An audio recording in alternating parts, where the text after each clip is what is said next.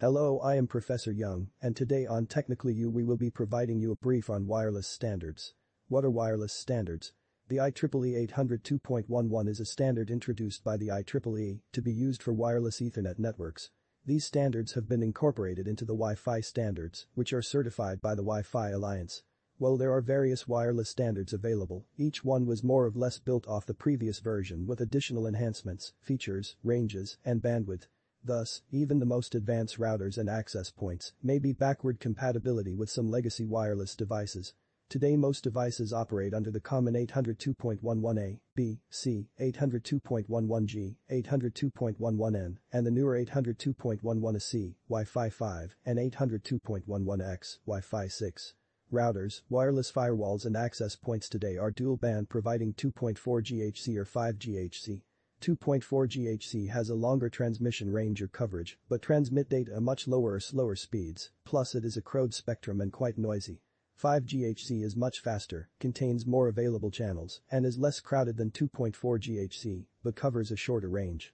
The most known wireless standards 802.11ax, Wi-Fi 6, branded as Wi-Fi 6, the 802.11ax standard went live in 2019 and will replace 802.11ac as the de facto wireless standard. Wi-Fi 6 maxes out at 10 Gbps, uses less power, is more reliable in congested environments, and supports better security. Wi-Fi 6 also delivers MU-MIMO which stands for multi-user, multiple input, multiple output, MU-MIMO allows lots of user to access wireless networks all at once by dividing channels into smaller segments, and it helps multiple Wi-Fi devices coordinate communications faster and better. MU-MIMO is not compatible with all devices.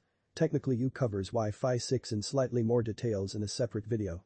802.11ac, Wi-Fi 5, the generation of Wi-Fi that first signaled popular use, 802.11ac, uses dual-band wireless technology, supporting simultaneous connections on both 2.4 GHz and 5 GHz Wi-Fi devices.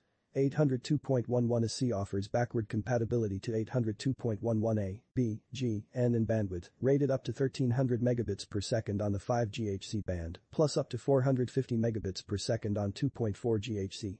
802.11ac enhanced MIMO, and the newer abilities was named MU-MIMO, which stands for multi-user, multiple input, multiple output. 802.11n 802.11n was designed to improve on 802.11g in the amount of bandwidth it supports by using several wireless signals and antennas. 802.11n introduced the MIMO technology, which stands for multiple input, multiple output. This technology was enabled by using multiple antennas instead of a single antenna. 802.11n could provide up to 600 megabits per second of network bandwidth. 802.11n also offers a somewhat better range over earlier Wi-Fi standards due to its increased signal intensity, and it is backward compatible with 802.11a, b, g devices.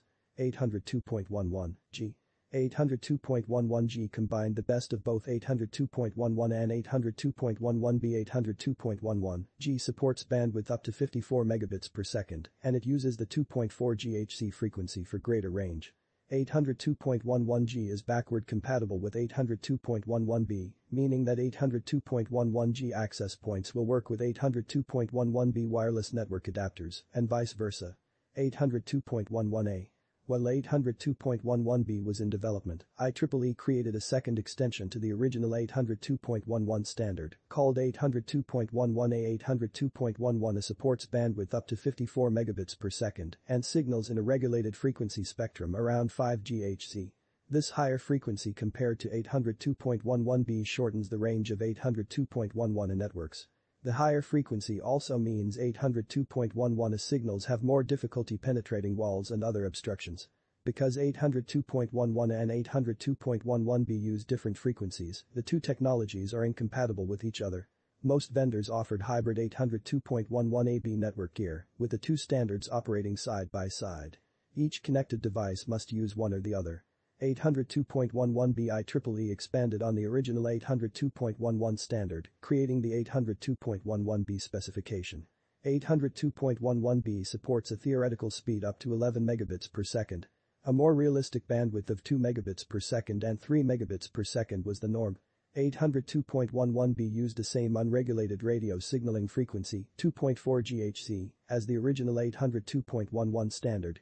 Being unregulated, 802.11b gear did incur interference from microwave ovens, cordless phones, and other appliances using the same 2.4 GHz range.